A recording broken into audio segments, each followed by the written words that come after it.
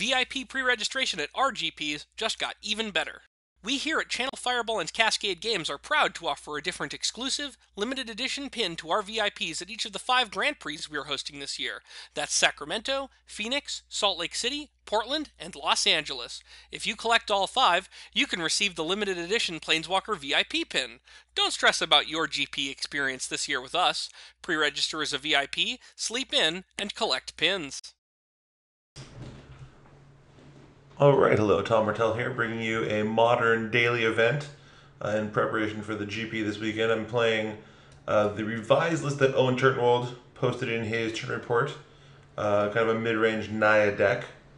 Um, looking at this opening hand, this is not a great hand. Um, and this Goyf is going to be pretty small. Chandra's only good in a few matchups. You know, we, we do have an Uprising Cannon we can cycle, but even so, it's still to be pretty slow. I think this one's really right on the right on the border. One perk is we do have a Kessig Wolf Run at least that will let us use any extra mana, but they just remove our Tarmogoyf, our hand's pretty bad. I think this is a mulligan, but it, is pretty close. And this hand's just way better. Just get to play a nice little turn 2 Smiter, turn 3 Chandra if we draw a land.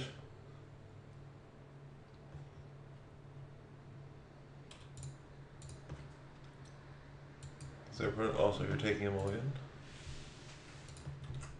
So I like to be able to fetch uh, basics whenever possible, but with this hand, since we only have two green fetches, we get a forest, we can't cast his Lightning Helix if our birds die. So we're going to just go ahead and get the Stomping Ground.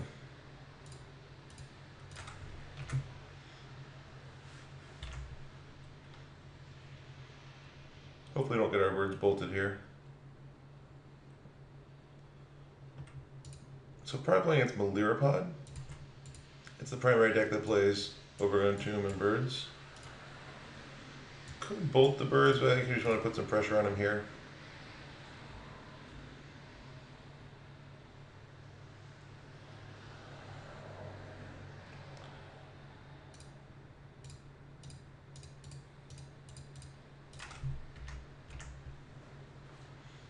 There's a chance he's playing Jund, but I mean, with the birds here to sacrifice, even if he plays Liliana, it's not so bad for us.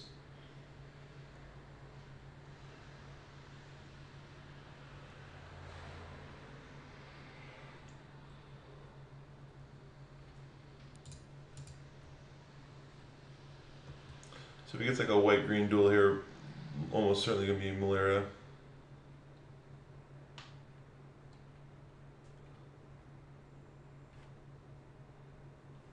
Basic Forest, okay. Yeah, okay, so playing Melira Pod. Given that treat my actions. Now hopefully just draw a land, we can just Chandra ping the bird. We'll just be way ahead. I guess we'll ping the Hierarch instead, but not so lucky. Um, hmm. think I'm just going to play the Ooze and the Nacatl here. Could play Ooze and kill one of these mana dorks.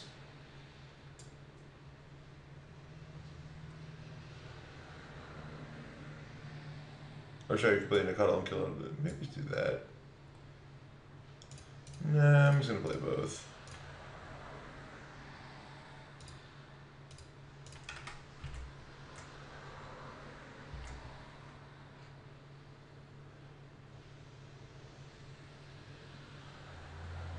Hopefully not a birthing pod here.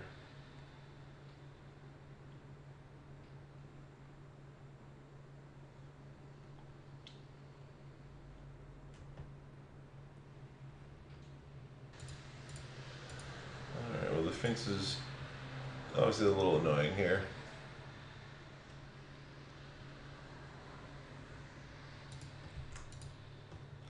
Man, we cannot draw this land. Um, hmm. Loses 4 4. Can't even block it with the Sphinx.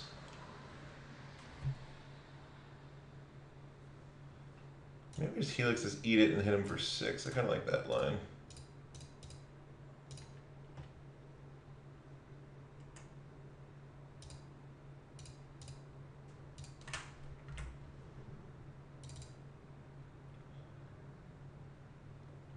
Taking a creature off the board makes his Chord of Callings less scary, makes his pod way less scary.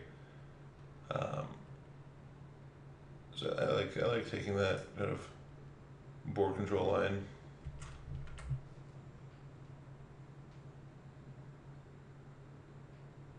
It does leave us a little more vulnerable to him actually comboing us off since we don't have the rule spell it, but now he needs to have all three pieces of the Melira combo.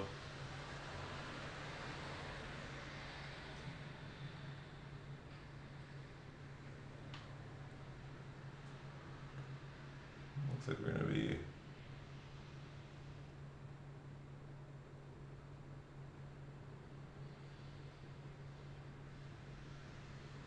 What does he have here?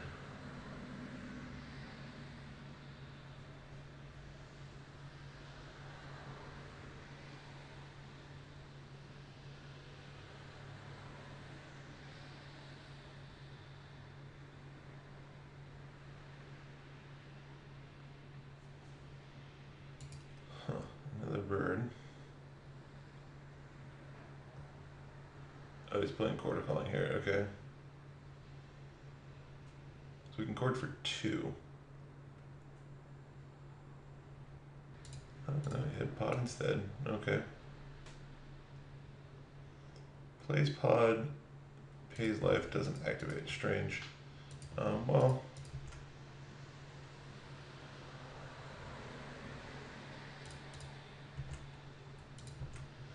So if he doesn't block, we just kill him. So he's obviously jumping. Oh. Alright, well, I guess we just kill him.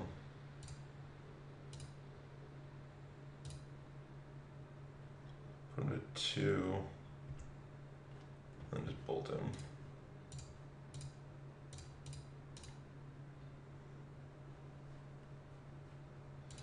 Alright, so sideboarding here, we want to bring in uh, certainly want our Linvala.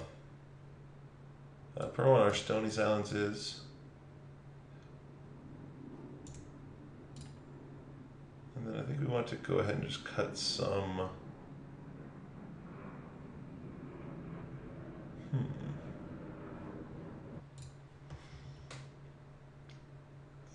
That's all we want to bring in. And we want to cut. Perhaps we'll cut some lightning hooks. actually. It's that or it's cutting. Um, actually, no, cutting Goyf is probably pretty good. Goyf's pretty slow against these guys. I think it's, yeah, it just gets blanked by wall of roots. So I think I should just want to cut these. And then can bring in the. Bring in Ancient Grudge. This is a lot of anti pod cards specifically, right? Bring in all three of these. I'll just leave in one Goyf.